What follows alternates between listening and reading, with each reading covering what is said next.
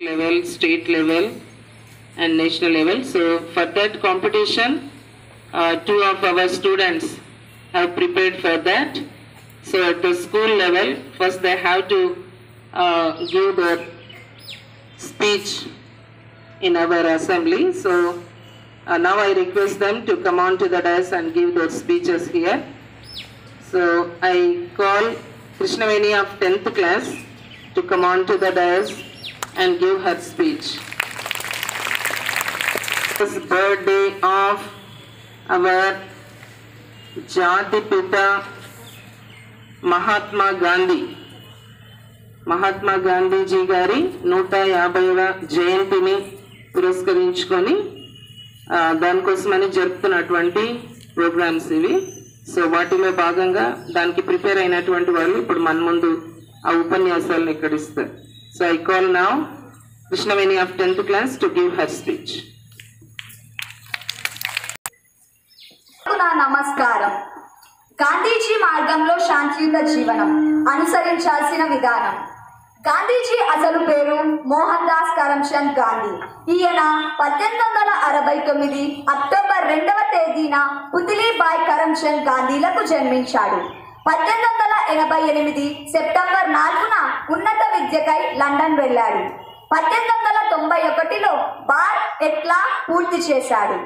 గాంధీజీ పద్దెనిమిది వందల తొంభై మూడున పోర్ బందర్లోని దాబా అబ్దుల్లా కంపెనీ తరపున ఒక కేసును వాదించడానికి దక్షిణాఫ్రికాలోని నేతాల్కు వెళ్ళాడు.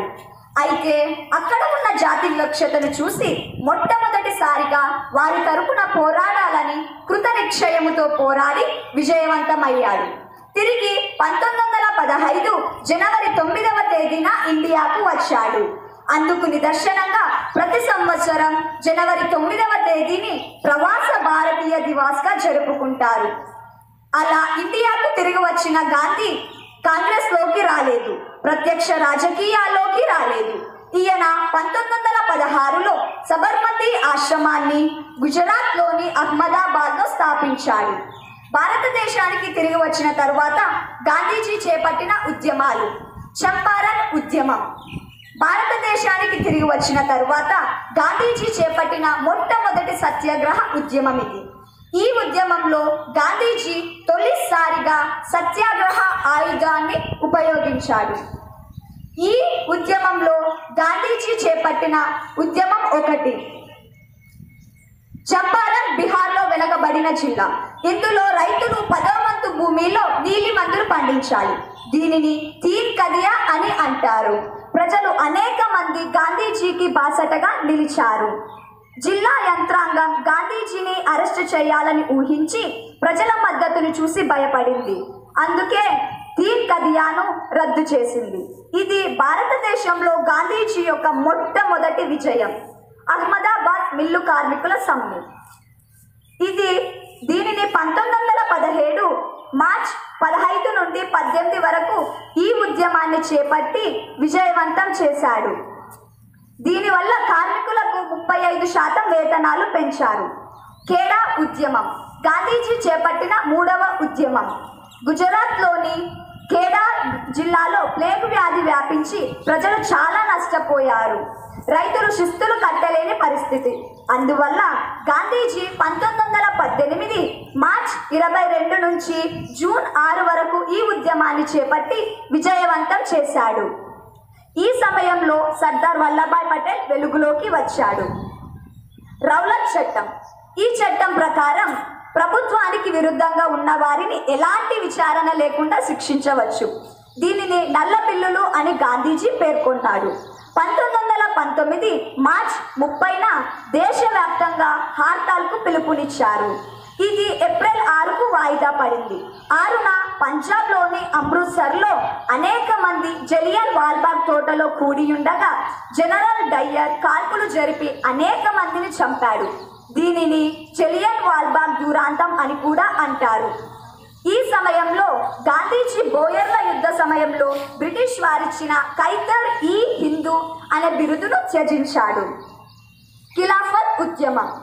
పంతొమ్మిది వందల ఇరవై జూన్ రెండున ఈ ఉద్యమంలో గాంధీజీ అనీ బిసెంట్ కోరిక మేరకు ఈ ఉద్యమానికి అధ్యక్షత వహించాడు. సహాయ నిరాకరణ ఉద్యమం. పంతొమ్మిది వందల ఇరవై ఆగస్ట్ ఒకటిన ఈ ఉద్యమాన్ని చేపట్టారు. పంతొమ్మిది వందల ఇరవై రెండు ఫిబ్రవరి ఐదున ఈ ఉద్యమాన్ని నిలిపివేశారు. పంతొమ్మిది వందల ఇరవై రెండు మార్చ్ పదకొ పదమూడున ఈ ఉద్యమంలో గాంధీజీని దేశద్రోహి కేసు కింద అరెస్టు చేసి పూనాలోని ఎర్రబాయ్ జైలులో నిర్బంధించారు. క్విట్ ఇండియా ఉద్యమం.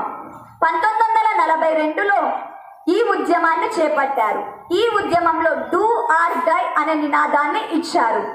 శాసనోల్లంఘన ఉద్యమం పంతొమ్మిది వందల ముప్పై జూన్ పదకొండున తన అనుచరులతో కలిసి సముద్ర తీరంలో ఉప్పు శాసనాలను ఉల్లంఘించాడు. పంతొమ్మిది వందల ముప్పై మార్చ్ పద పన్నెండు నుంచి ఏప్రిల్ ఆరు వరకు ఈ ఉద్యమంలో దండియాత్ర చేశారు. అనుసరించాల్సిన విధానం. గాంధీజీ తన జీవితంలో ప్రశాంతవంతమైన జీవన జీవనాన్ని శాంతియుతమైన జీవనాన్ని అవలంబించాడు. దక్షిణాఫ్రికాలో ఉన్నప్పుడు రోడ్ల మీద చెత్త ఉంటే స్వచ్ఛ ప్రకృతిని ఏర్పాటు చేశాడు. అంటే ప్రకృతి స్వచ్ఛంగా ఉంటే మన మనసులు స్వచ్ఛంగా ఉంటాయని చాటాడు. గాంధీజీ బోధనల సారాంశం నిర్భయం. అంటే దేహ ధైర్యం కాదు మెదడులో ఉన్న భయాన్ని పారద్రోలడం. ప్రశాంతవంతమైన మనసు ఉన్నవారికి ఏ పని అయోమయంగా ఉండదని లోకానికి చాటాడు. ఏ ఉద్యమం చేసినా శాంతియుతంగా తమ సమస్యలను పరిష్కరించుకోవాలని చాటాడు. గాంధీజీ చొరవతోనే అల్పసంఖ్యక ప్రజలు శాంతియుత జీవనాన్ని కొనసాగిస్తున్నారు. ఒక వృక్షం కష్టాల్లో ఉన్న వారికి సంతోషాన్నిచ్చి ఎలా ప్రశాంతతను ఇస్తుందో ఒక పుష్పం వికసిస్తూ ఒక్కరోజైనా జీవితంలో గౌరవంగా జీవించమని చెబుతుందో అలా తన ఆయుధాలైన సత్యం అహింస మార్గాలతో శాంతియుత జీవనం అవసరమని చాటాడు. గాంధీజీ మరణించక ముందు ఒకసారి ఆయన మాటలు మనం గమనిస్తే ఒక పిచ్చివాని చేతిలో తుపాకీకి నేను బలి కావాల్సి వస్తే నవ్వుతూ దానికి స్వీకరిస్తా. నా ముఖంలో ఎటువంటి కోపం ఉండదు. నా హృదయంలో నా పెదవులపై దేవుడు ఉండాలి అని ప్రశాంతవంతమైన మనసుతో అన్నాడు. ఆ మాటలను అక్షర సత్యం గావించాడు. ఒక చెంప మీద కొడితే ఎదుటివాడికి రెండవ చెంప చూపించమని శాంతి వచనాలు పలికాడు. ఏ జీవికి ఏ ప్రాణికి ఎటువంటి నష్టం వాటిల్ల చేయలేదు. అందుకే గాంధీజీని జాతిపిత అని బాపూజీ అని మహాత్మా గాంధీ అని వేణుల్లా శ్లాఘించారు. సమాజంలో ప్రతి పౌరుడు గాంధీజీ చూపిన శాంతి అహింస సత్య మార్గాలతో శాంతియుత జీవనాన్ని కొనసాగించాలని ఆశిద్దాం.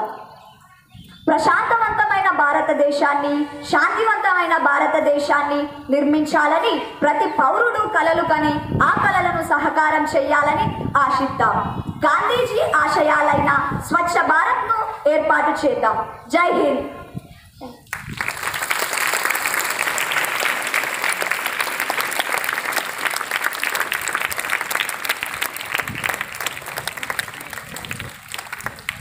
ఎంతో చక్కటి స్పష్టతతో గట్టి స్వరంతో మంచి ఎక్స్ప్రెషన్స్ హావభావాలతో చక్కని ఉచ్చారణతో మరి చెప్పినటువంటి ఈ యొక్క ఉపన్యాసం మీ అందరికీ కూడా స్ఫూర్తిగా ఉండాలి. ప్రతి ఒక్కరూ నేను కూడా అలా మాట్లాడాలి. స్టేజ్ మీద నిలబడి అలా ధైర్యంగా చక్కగా మాట్లాడాలి. ఒకవేళ అది రాసింది మనం ఒకవేళ బైహాట్ చేసినా కూడా అలా చేసినట్లుగా లేదు అమ్మాయి మాట్లాడేటప్పుడు.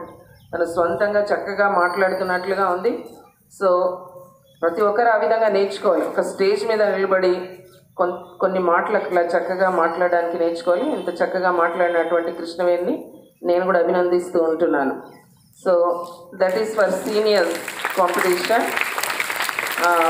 అలాగే జూనియర్స్ కాంపిటీషన్ ఈ సీనియర్స్ కాంపిటీషన్కి మరి తెలుగు పండితులైనటువంటి దేవభూషణం గారు ఆ అమ్మాయిని ప్రిపేర్ చేశారు. అందుకనే నేను తెలుగు పండితులైనటువంటి భూషణంని కూడా నేను అభినందిస్తూ ఉంటున్నాను. అలాగే జూనియర్స్ జూనియర్స్కి మరి అదేవిధంగా తెలుగు పండితులైనటువంటి మధు సార్ కూడా మరి ఒక స్టూడెంట్ని ప్రిపేర్ చేశాడు. Karthik of 7th class. Now I call Karthik of 7th class to come on to the dais and give his speech.